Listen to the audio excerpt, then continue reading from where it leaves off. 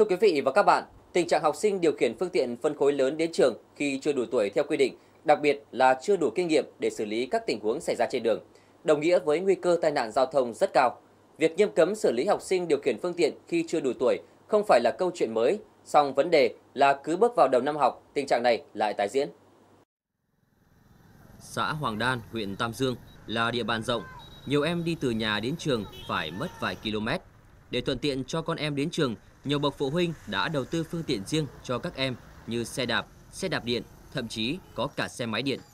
Trong đó, xe máy điện là loại phương tiện mà học sinh trung học cơ sở chưa được phép sử dụng. Từ thực tế trên, trước thềm năm học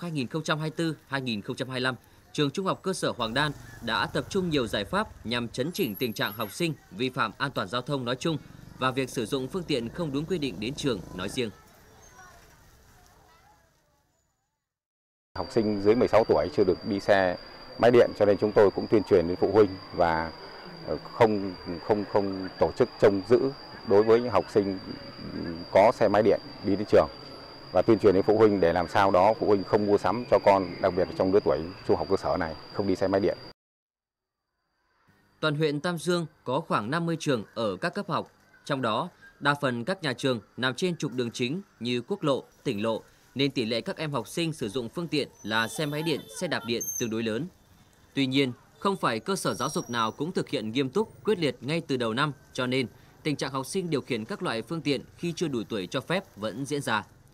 Nhất là nhiều em học sinh cấp 3 còn sử dụng các phương tiện trên 50 phân khối. Bên cạnh đó, vấn đề chấp hành pháp luật về an toàn giao thông của các em chưa cao. Đây là một trong những nguyên nhân dễ dẫn đến tai nạn giao thông. Để kịp thời chấn chỉnh tình trạng này, cùng với việc tăng cường đẩy mạnh công tác tuyên truyền, lực lượng cảnh sát giao thông công an huyện Tam Dương cũng đã tập trung giả soát, xử lý các trường hợp vi phạm. Đội giao thông ờ, đang tăng cường tăng tăng cường quyết liệt xử lý về các hành vi vi phạm giao thông đối với học sinh sử dụng xe trên 50 phân khối, dù như không có giấy phép xe mà tham gia giao thông anh em là quyết liệt xử lý và vừa rồi anh em thu giữ rất nhiều. Đến hiện tại ờ, đánh giá tình hình là cơ bản ổn định hơn, cơ bản định hơn và ừ, các học sinh đã được ký cam kết và phối hợp nhà trường ký cam kết là cơ bản đã đẩy lùi được cái việc học sinh vi phạm ờ, điều khiển xe trên phân khối đã được đẩy lùi. Tình trạng học sinh điều khiển phương tiện phân khối lớn không chỉ thể hiện ý thức xem thường pháp luật mà còn mang đến nhiều hệ lụy, nhất là nguy cơ xảy ra tai nạn giao thông. Điều này không chỉ là trách nhiệm từ công tác quản lý của nhà trường và các lực lượng chức năng mà trên hết là trách nhiệm trong việc tuyên truyền giáo dục của phụ huynh đối với con em mình.